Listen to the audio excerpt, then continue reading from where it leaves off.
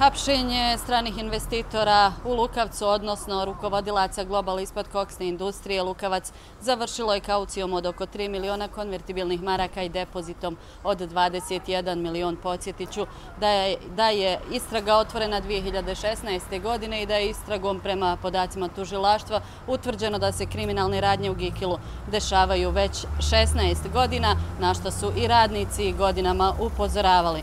U nastavku poslušajmo šta kaže advokatica o samoj kauciji, ali i iz tužilaštva.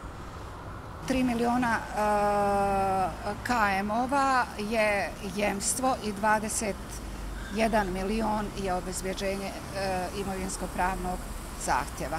Taj novac će dakle, biti zaleđen Eh, neće se po nalogu suda, eh, neće se eh, upotrebiti u bilo koje druge svrhe izuzev za obezbjeđenje plaćanja imovinsko-pravnog zahtjeva ukoliko dođe do usuđujuće presude. Ukoliko dođe do oslobađajuće presude na kraju procesa, onda bi se taj novac naravno u skladu sa zakonom vratio. Oni su se sastojali u tome da se izrečena mjera pritvora zamijeni određenim jemstvom na način da se, pošto je zakon o kričnom postupku Federacije Bosne i Hercegovine propisano, da se izriče mjera pritvora ukoliko postoji opasnost od bjekstva i neka zamjena za tu mjeru jeste jemstvo. Mi smo tražili da ono bude u iznosu od milion i po eura.